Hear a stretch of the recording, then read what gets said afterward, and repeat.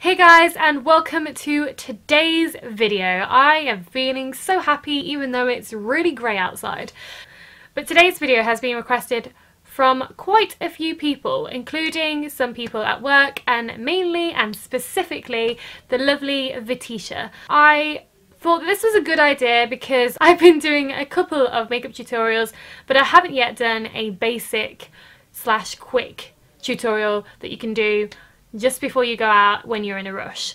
So I thought it would be a great idea to do that today. Now most of the products I am using are all affordable and are all high street, most of them. I think there's about one thing that isn't. It's just an easy everyday look and I hope you find this video useful. It's a bit of a scary world, the makeup world, so I thought this would be good for our channel and for you guys as well. I hope you enjoy this video and I don't have anything else to say other than let's get this video started. Enjoy! The first thing you do is get as much hair from out of your face because you do not want foundation-y makeup hair. you don't want your hair to get any makeup in it. So I'm just gonna clip that back. I mean, I look like a banana, but what can you do? So first off, you need a base for your face. Now I'm gonna be using my Holy Grail and you've probably seen this so many times, the Simple Kind to Skin Replenishing Rich Moisturiser. And if I don't use this, then I use a face primer, which is either normally the MAC face primer or the Soap and Glory face primer. I just think a primer is a good way to keep your makeup on all day. If you're going somewhere nice, then use a primer. But if you need, if your skin needs a bit of healthiness and a bit of softness, then I totally would recommend a moisturiser to put on your face before you put any foundation on.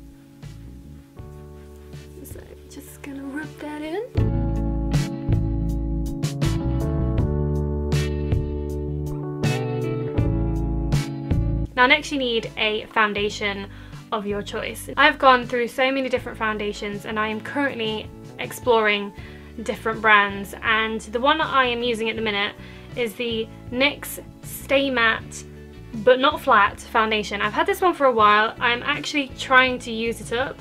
It's not my favourite, but it is it is good. I don't recommend it for people with dry skin because it does flake up a little bit. I do love the coverage of this foundation so yeah.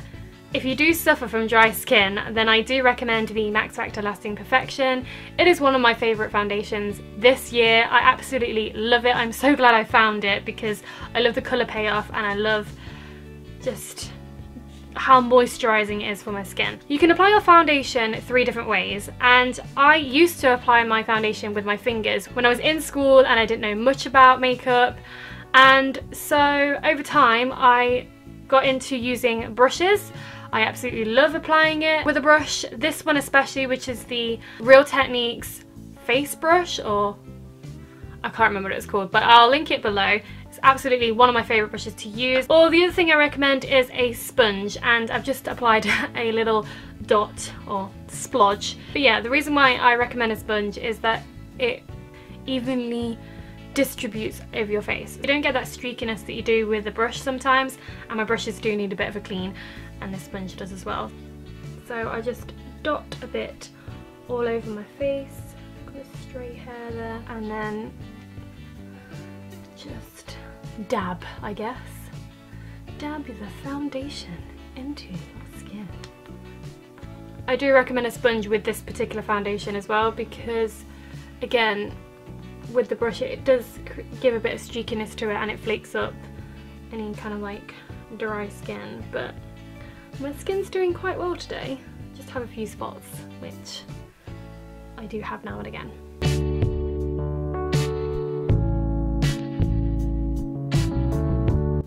You want to blend it under the chin just so you don't get that really fine line that some people get and you just oh it's I just feel like it's embarrassing when you have that line constantly just rubbing it into my neck.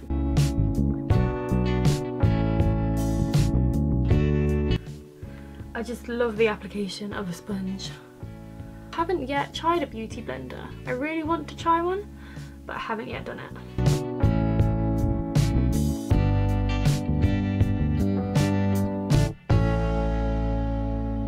One thing about this foundation, it is a, it's a tiny bit dark for my skin, um, but the best way to check that the foundation you're thinking of purchasing is the same colour as your skin tone, like basically to match your foundation with your skin. It's just to test a little bit of the foundation just on that little webbed bit between your thumb and your index finger.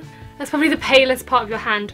Or if you haven't got any foundation on, on the day that you're testing it in the straw, just put a little bit in your face and just kind of like rub it into your skin. If it blends in like instantly, then it's the colour for you. If it, if it looks too light, then it's not for you. And if it looks too dark or it looks slightly dark or it takes a while for it to kind of, you know, look like your skin, then it's not the right colour for you. That's the best tip I can give you on foundation. It just, but you can tell this is slightly a little bit dark on my face, but it's only a little bit dark, so I can get away with it. The next step is a concealer, and the one that I have been using quite a lot is the Flawless Light Reflecting Concealer by Barry M. I really like this. It does the job in reflecting the light but if you go into Boots or Superdrug and you want a good concealer I totally recommend the Collection Lasting Perfection Concealer absolutely love that and I seriously need to get another one. What I normally do with my concealer is either do three kind of like stripes like that like like whiskers and then just kind of just kind of do a lot of so it's kind of like this triangle, you see? It comes down to the nose and then kind of reaches the end of the eye, the outer corner of the eye, the outer corner of the eye. Um, that's basically the area you want to conceal. I mean, because I'm a person who wears glasses, I have really dark under eye circles because that's what glasses do to people like me. So yeah, so you just want to kind of draw a triangle with your concealer. It doesn't have to look neat at the minute, don't panic, this is not going to look like this afterwards. This is just applying it. And then what you want to do is get a concealer brush or a brush that I use as a concealer. This one is the Real Techniques contour brush. And yeah, I'm going to use this. Sometimes I use the sponge, but I'm going to use this for the sake of this video. And you're just blending it in. You're just kind of brushing it away from the eye. Dab it towards the inner corner of the eye. That's probably the best thing to do around that area.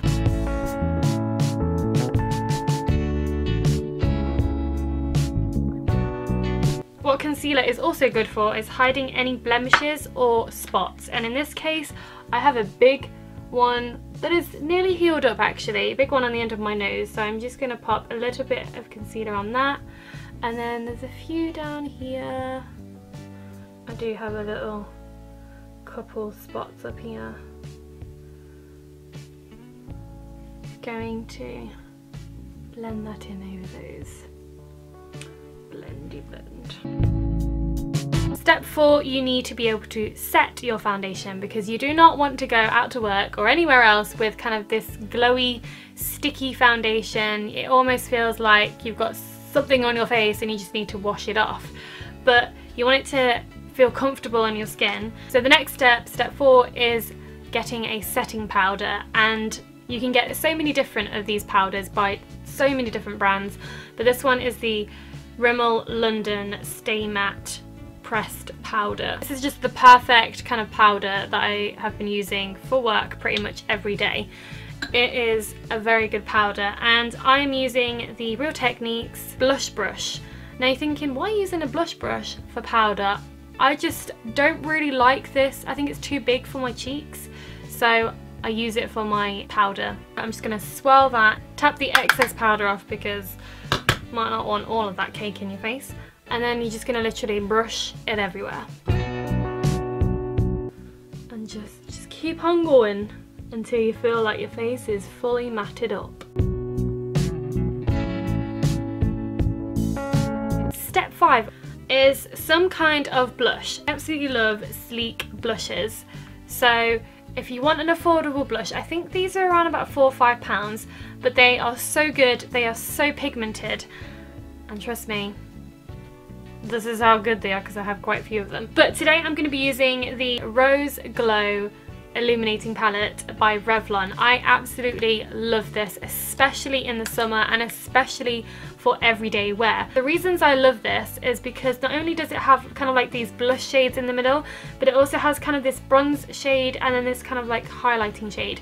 And the reason I love this is because when I'm in a rush or want to apply my makeup really quickly, this is like an all-in-one blush bronzer and highlighter and it just creates this gorgeous glow on my cheeks. I'm going to be using this Luxie brush. This is probably the only product in this video that isn't drugstore um, but I only have two blush brushes and they're both kind of like high end. I'm just going to dab this in a couple of times, whack that off and then just brush that blush in kind of like a diagonal just on the tops of the cheekbones. The good thing about the good thing about this blush is that it's buildable.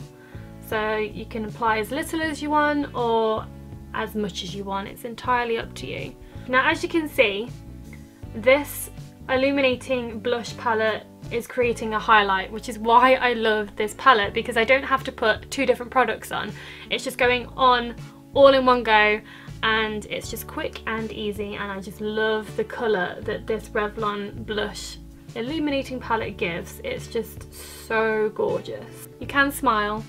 Applying blush is probably the happiest part of applying makeup because you're smiling to get those cheeks.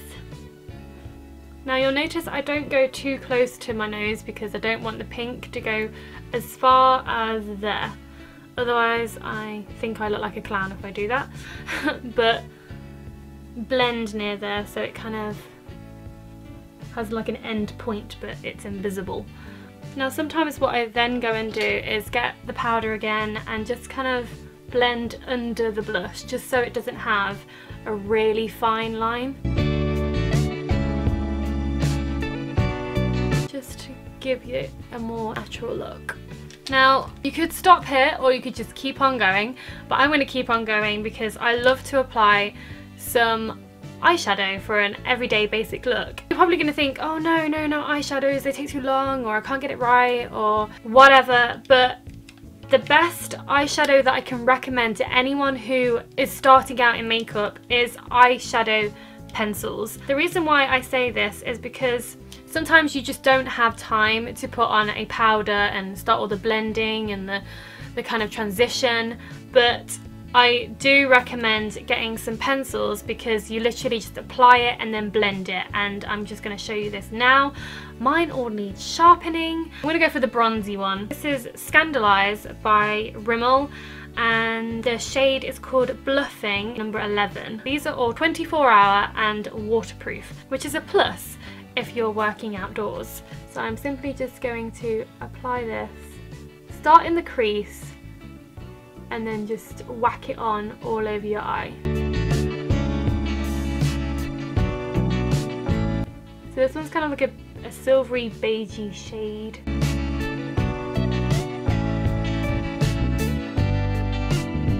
Doesn't matter how bad this looks at the minute because we're going to sort it out later, don't worry. I mean, whoa, what's going on there? Next, you want to take a blending brush and I'm going to be using the Eco Tools. This is the double-ended brush and I'm going to be using this fluffy end. These brushes can come in a two set, which is what I originally did pick them up as. They were originally a two set. What you want to do is just blend the outside of that shade. That means swirling the brush in a circular motion if you can. And that is just getting rid of that fine dodgy line, it's not really a fine line, it's more of a dodgy line of the eyeshadow.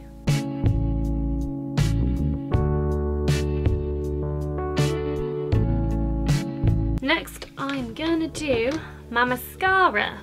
Now, drugstore mascaras, I love the Maybelline mascaras. I have done for so long and my absolute favourite is this Lash Sensational mascara. You've probably seen me use it in the past um, the other one that I absolutely love came out last year I think and this one's called the Falsies Push Up Drama and that's also really good. But I'm going to use my holy grail. So I've already done one eye. I'm going to do the other eye.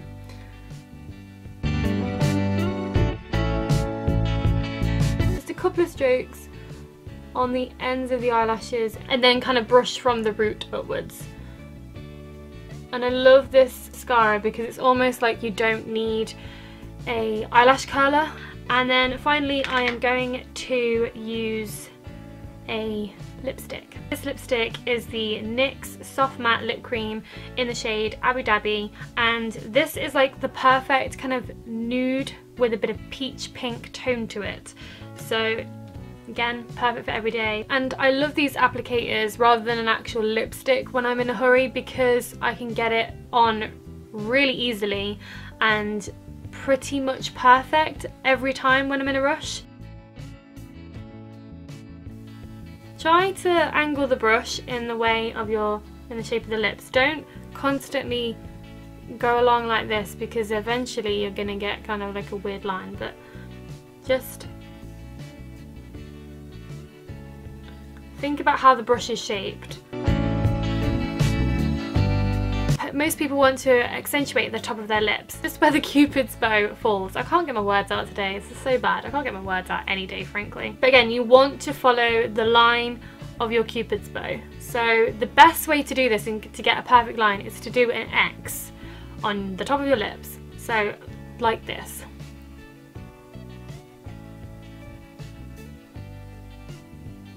You see how I followed the line but did an X? No? It's a tip and a rule that I've followed every time I apply my lipstick. And again I'm applying lipstick without my glasses on.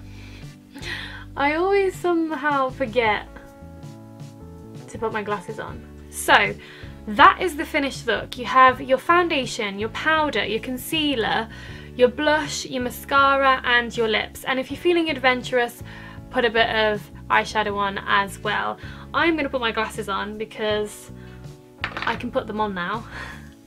yeah. Let's just take that pin out and sort out my hair. I'm to zoom you out because you don't need to be that close anymore.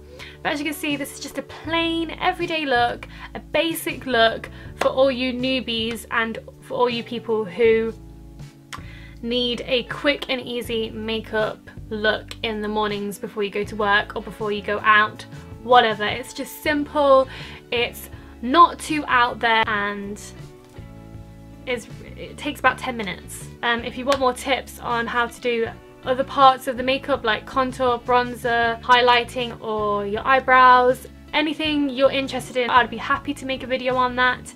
But that is the end of this video. If you enjoyed it, please give it a thumbs up, please subscribe to our channel and comment below. I love you guys and I will see you again soon. Bye!